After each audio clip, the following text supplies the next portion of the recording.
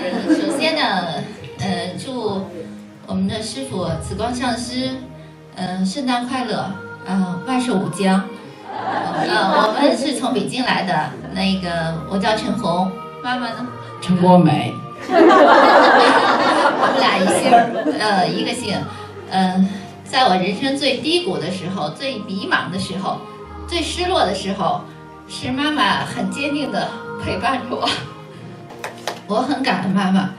嗯，当我接触到光环密宗的时候，嗯，我的问题，我觉得大家都知道了，我就不再说了。呃，我从一个狂躁症，嗯，焦虑、紧张，还有我身体上的好多的一些隐性的病啊，现在都已经解决了。那我就坚定的我要跟随紫光上师去救度众生，去让他们解脱，去找到回家的路。可是，在这个时候，其实妈妈给了我力量，给了我支持，就有她的支持，我想我走的会更远、更稳，会跟随紫光上师这一生去救度众生，这是我的愿，永远都不会变的。那我就想想，妈妈说说她的感受。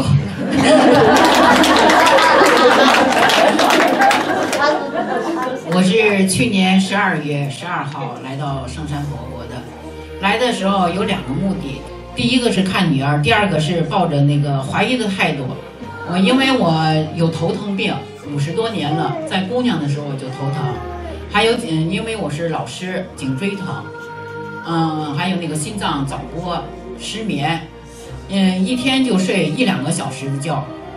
那时候我就是抱着那个试试看的目的，通过学习了五期、三期，呃一秤，两期提高，连着学了五期，我反正收获是特别大的，呃，是十几天的时间来到圣山佛国，头也不疼了，慢慢的失眠，失眠是从圣山佛国待了两个月，回去北京的时候，我才把失眠这个那个毛病治好了。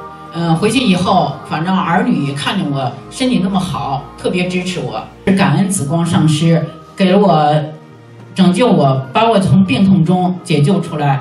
五十多年的头疼，现在是没有的。我们现在，我觉得我现在真像四，别说三十多，就像四十岁一样。我觉得我现在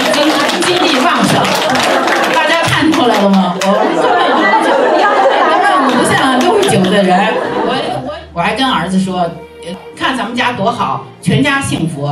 可是也是得到了紫光上师的指点，我们家的生意特别好，就都是感谢紫光上师。感谢。